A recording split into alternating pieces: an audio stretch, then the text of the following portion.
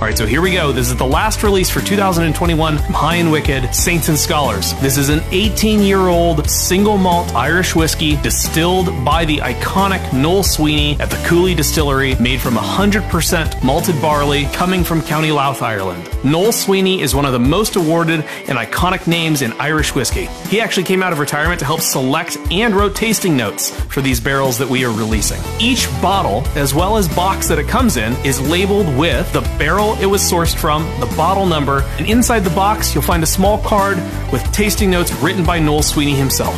We are only releasing five single barrels this year. As a good friend described it, this is the closest thing to being in an Irish rack, to going into the rack house and pulling a sample direct from the barrel.